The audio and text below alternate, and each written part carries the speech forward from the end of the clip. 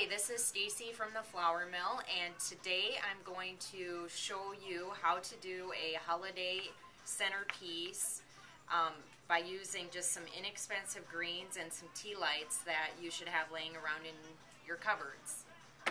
And what I'm going to do is I'm just going to kind of mix some different pieces of greenery around the tea lights.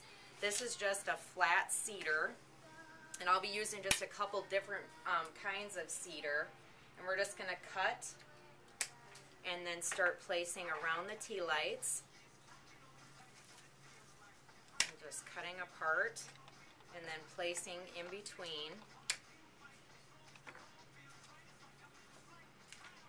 And you're going to have lots to work with here, so if you have a couple different tables, you can kind of do just some really simple and inexpensive things for your centerpiece. And then I'm going to add in my second kind of cedar. This is like an incense cedar. Cutting a few pieces of that. And the great thing about having greenery in your house is that it just smells wonderful and it lasts for a long time even out of water. Then we're going to add in some balsam pine. Just cutting in the tips of this.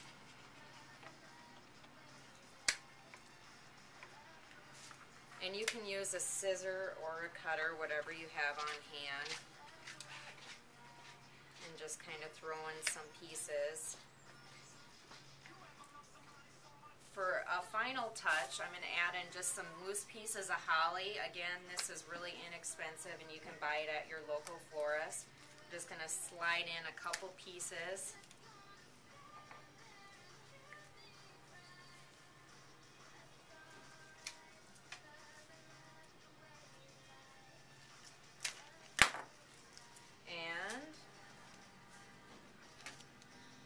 Just like that, you'll have a nice centerpiece for the holidays without spending very much money.